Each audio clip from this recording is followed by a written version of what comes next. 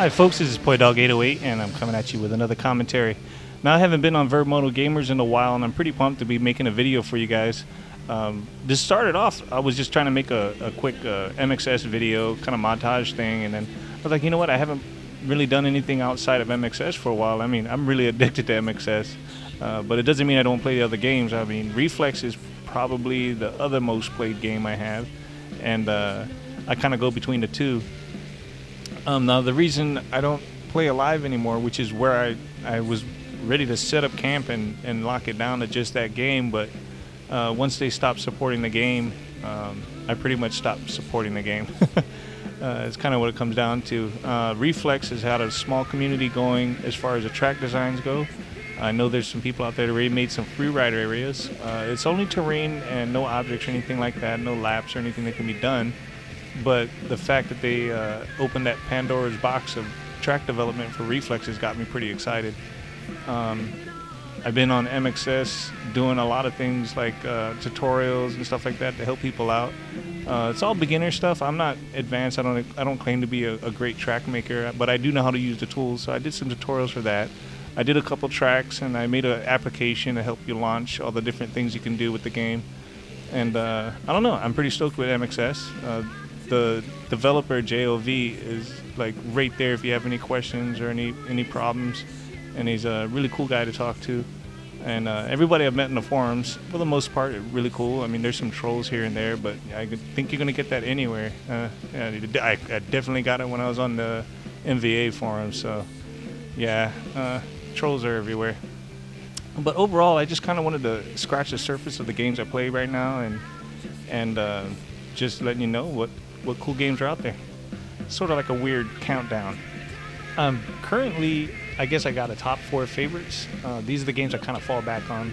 Uh, Untamed is probably the least fall back on, but I still go back to it because there's just so much. I mean, between the free ride nationals, supercross, freestyle, uh, open cross, supermoto, enduro cross, waypoint, mini moto, there's there's just a lot of fun to be had in this game, and uh, I can still go back to it and have a lot of fun um, as your game is loading, you can actually mess around on your bike, and that to me, I've never seen it before. It's one of the coolest things I've ever seen. And when you're online, you got you know a lobby full of people just hanging out and goofing around, just waiting for the track to load, instead of just staring at a, a blank, you know, a screen with the loading symbol popping up and down.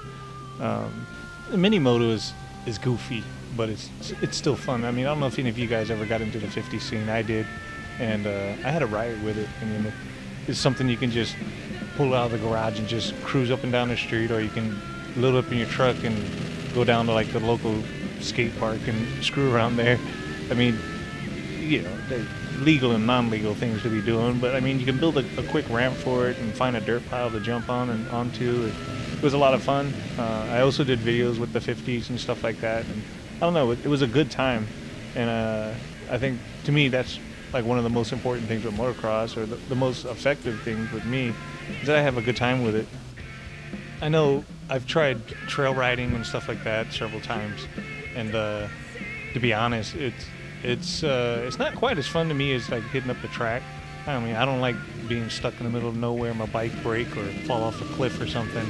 Uh, it's nice that if I eat shit at a dirt bike track, I can just kind of crawl my way off to the side and get to my truck. Um, I don't know. Uh, Endurocross in this game was a lot of fun because I didn't have to worry about getting hurt for one, and I don't know. It, it, Endurocross, I, I miss it a lot, and uh, I know there's some, or actually, I only know of one in MXS, and I'd like to kind of see more. Uh, it's it's a it's it's challenging and it's fun in its own way. So, but yeah, I miss Endurocross a lot. I hope it you know uh, starts to resurface again. If you ever watch any of this stuff live, these guys are nuts. Uh, Supermoto. Uh, I never did any any tarmac racing on a dirt bike, although I've always dreamed of owning one that's street legal, so I don't have to ever stop riding my bike. But I guess the closest I'm going to get is a video game as far as racing on tarmac. Um, I don't know. Supermoto was a lot of fun for me uh, within this game and this franchise, but uh, it seems like this is the last time you'll see it throughout the franchise. Uh, I know Reflex and Alive didn't have it, or Alive could have had the potential to have it, but just never got there. Um, MXS, I know the most recent moto supermoto track I know of is done by uh, Motoboss, and once again, it, it was fun. Uh, supermoto was fun, definitely. Moving on to MX versus ATV Alive. Um, I don't know this this game could have been so much. There was so much potential for this game. Uh, to have a community feedback patch where they tweak the physics, I mean, that's just crazy. If you think about that, like they tweak the physics on a game that's a hard disk, and you are able to download it and patch it. I mean, this was unheard of before in consoles. So the the idea that they're doing it and or we're doing it was I was really stoked about it. Um, I liked everything about the game, uh, aside from the whips, I guess. The whips felt awkward. Um, it was hard to position the bike and point it in the direction you wanted it, or get a get a good whip flow was almost impossible.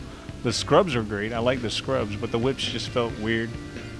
Uh, but I did like the seat bounce thing and the clutch, you know, power band and all that. You know, a lot of people were complaining about those.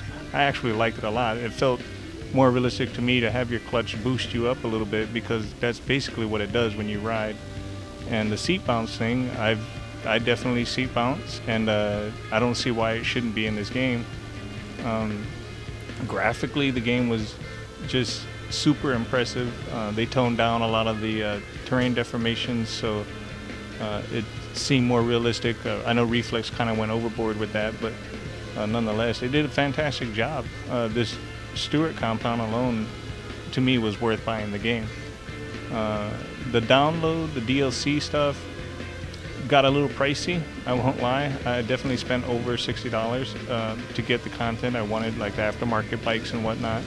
I understand there was a lot of politics and everything behind all of that, and it's just a shame that they shut down the whole franchise because of whatever situation they were facing. Um, it's a unique franchise, and uh, I think it still had a lot of potential, and they could still go back to this game and and re reignite it, in my opinion. But you know, I don't work at THQ, and and that's just how it is.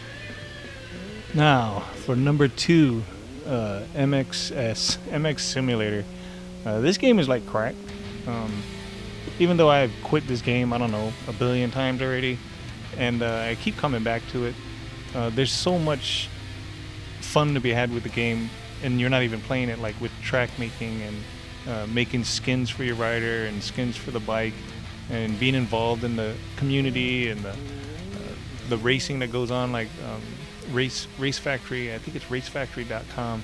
Uh, they host uh, races that follow along with the Supercross series, which is really cool because um, they do it live and you can actually get on watch it live and get on the chat and you know just chat it up with everybody from the forums and whatnot and support your favorite rider and I don't know it's pretty cool. Uh, I also like the fact that I can you know watch Supercross.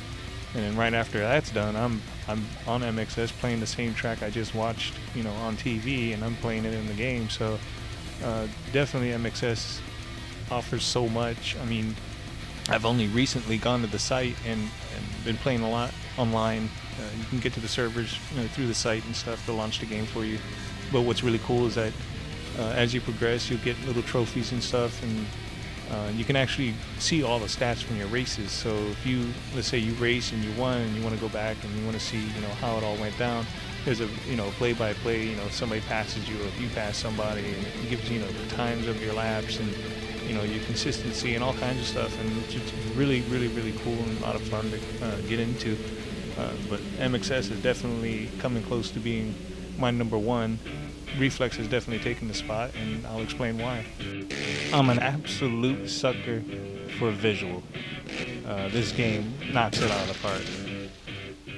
Presentation.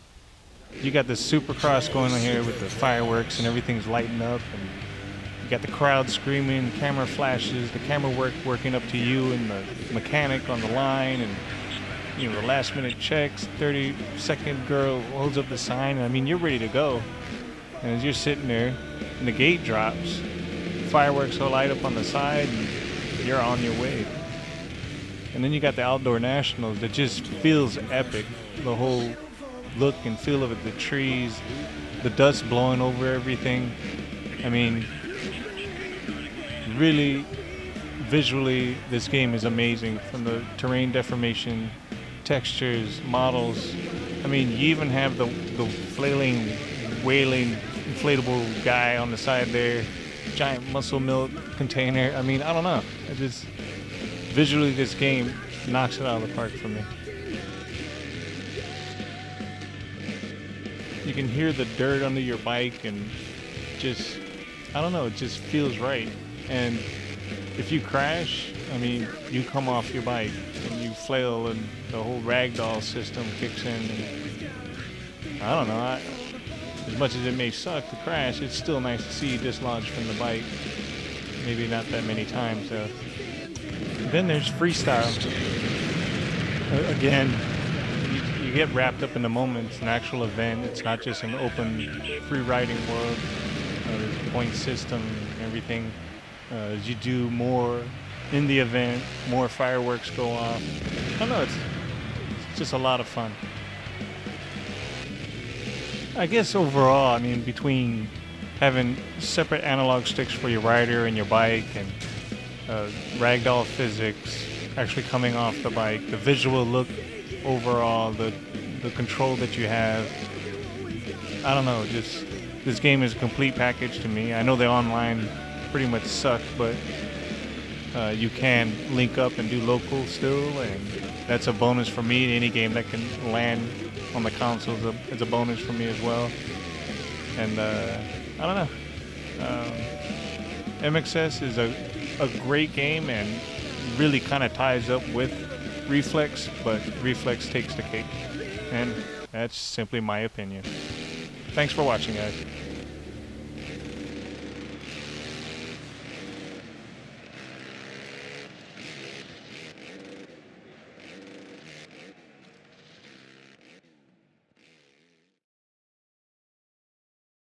For daily motocross pro and am coverage, be sure to log on to vurbmoto.com, and if you like us, prove it.